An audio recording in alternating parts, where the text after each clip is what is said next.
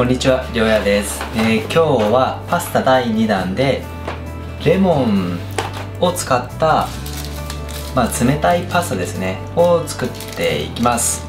で今回使うパスタがね結構面白くってねグルテンフリーって知ってるかな？あの小麦粉で作っていないパスタ。小麦が一切入ってないパスタっていうのがあってで今回はねこのキヌアパスタっていうのを使います。これはキヌアと米粉だけでできてます。確か。でグルテンが入ってないっていうやつですね。これもね結構美味しいので今回これを使っていきます。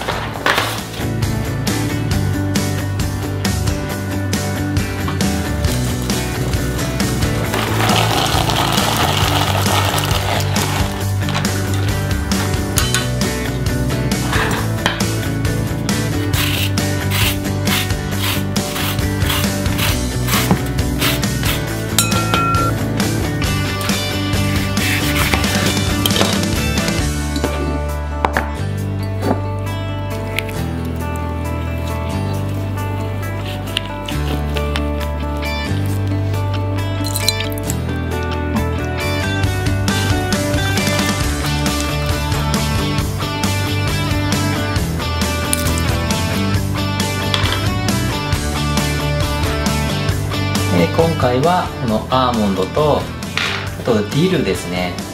今回は生の使いますけどもし生のが手に入らない場合は乾燥したやつでも全然大丈夫です。あとおかひじきが手に入ったのでこれを使って作っていきます。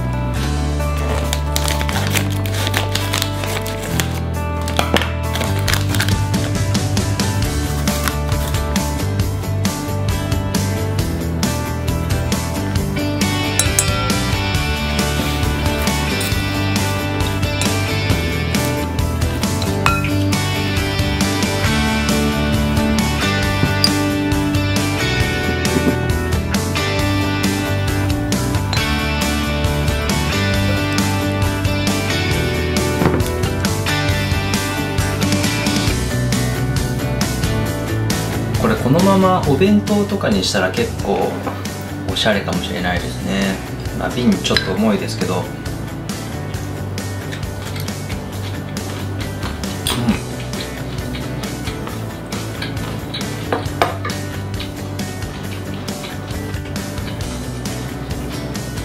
うまい。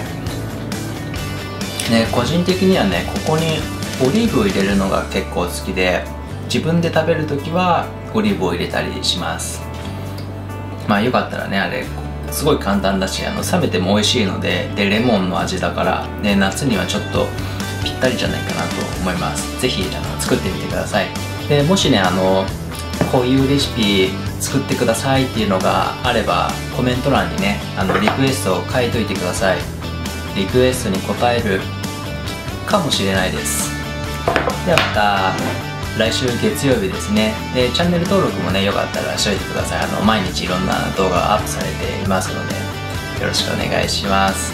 ではまた来週。